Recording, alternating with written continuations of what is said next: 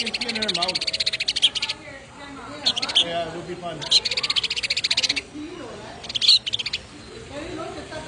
would be fun.